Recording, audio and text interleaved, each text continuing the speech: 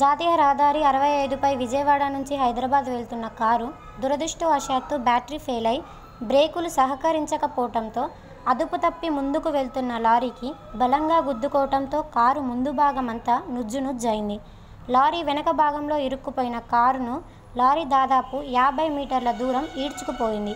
ఈ సమయంలో కారులో ఒకే వ్యక్తి ప్రయాణిస్తున్నారు. ప్రమాదం సమయంలో కారులోని ఎయిర్ బెలూన్ ఓపెన్ కావటంతో పెద్ద ప్రమాదం తప్పి కారులో ప్రయాణిస్తున్న వ్యక్తికి స్వల్ప గాయాలతో బయటపడ్డాడు. ఈ విషయం తెలుసుకున్న హైవే పెట్రోలింగ్ పోలీసులు సంఘటన స్థలాన్ని చేరుకుని ప్రమాదం జరిగిన విధానాన్ని పరిశీలిస్తున్నారు.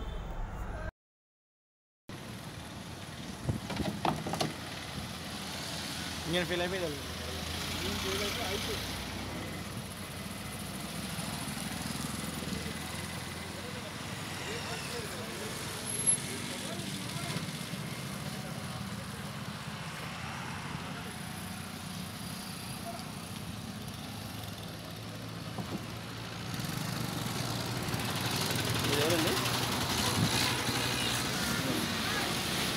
Lizzie?